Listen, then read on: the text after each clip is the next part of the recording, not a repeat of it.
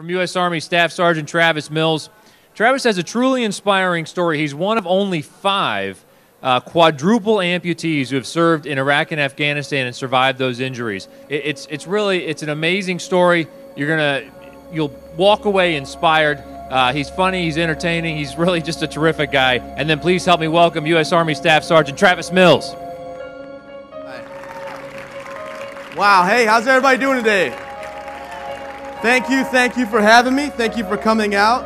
As you saw in the trailer, my name is Staff Sergeant Travis Mills, formerly of the 82nd Airborne Division, United States Army. On April 10th, 2012, believe it or not, I zigged when I should have zagged. I took the wrong step. I made one slight error and set my bag down in an explosion, and my arms and legs disappeared. It's okay though. It's okay because these doctors at Walter Reed made them reappear. I was woken up on my 25th birthday to find out I was still alive. Hey, Travis, happy 25th birthday. You're in Germany, you're a quadruple amputee, and you don't get to have cake today. Oh, man. Shucks. He came walking in my room, and I'm waking up for the first time, kind of sore, a little groggy, and he comes walking in. Hi, I'm Todd. I'm like, whoa, am I dreaming? Look at this monster of a robot here. He's like a transformer with a pretty face. So I'm gonna ask some questions now, kids, you, and I want you to be interactive here. What motivates you? Who likes pizza? Pizza motivates me, but what motivates me more is actually cheesecake. I love it, can't get enough of it. Six weeks or seven weeks after my explosion, I actually was able to take my first steps around the track. It was, it was just life-changing. How wild is it that a guy with no arms, no legs can run? I'm not very fast, but I guarantee if you're sitting in a chair and I say, right, you set, go, and you stay sitting, I'm gonna beat you in a race. Hands down, I guarantee I'll beat you if you stay sitting.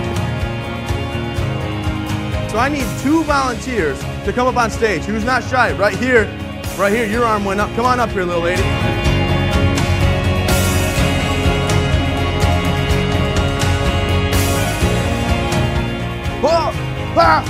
You're doing it. Good job. Good job. And that's how it works, ladies and gentlemen. So if I put my hand up slow, I flex the muscle slow. If I flex it fast, it rotates to the left.